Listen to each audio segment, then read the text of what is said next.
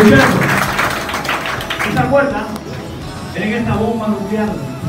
¿Usted se acuerda del pasaje donde Jesús, sus discípulos, no pudieron echar fuera un demonio de un lunático?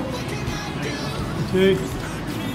Y el padre del muchacho lunático dijo a Jesús, yo he traído a ti porque tus discípulos no pudieron echar fuera el demonio. ¿Se acuerdan de ese pasaje? ¿Escuchan? Marcos 16, 17, Jesús prometió, y estas señales seguirán a los que creen. En mi nombre echarán fuera demonios, pondrán sus manos sobre los enfermos y estos sanarán. ¿Sí o no? ¿Está aquí? Ahora escucha. Los discípulos no pudieron cumplir con esas señales. No salieron los demonios. Y de pronto, ellos le explican. Ellos hicieron lo correcto. Dijeron, el Señor Jesús, ¿por qué no pudimos echarlo? Eso no puede fuera. Muchos pastores, en vez de preguntarle a Jesús, ¿lo que hacen? Seguro porque no es la voluntad de Dios todavía, e inventan sus teologías que apagan el mover del Espíritu Santo.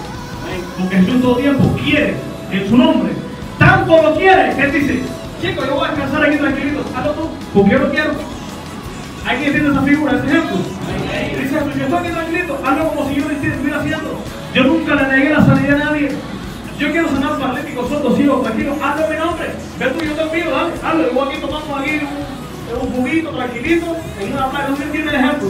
Hazlo mi nombre porque yo lo quiero ser.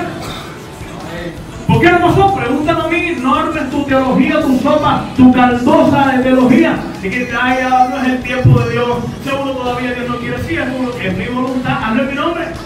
¿Qué pasa? Ah, en este caso tienes que ayunar y orar más.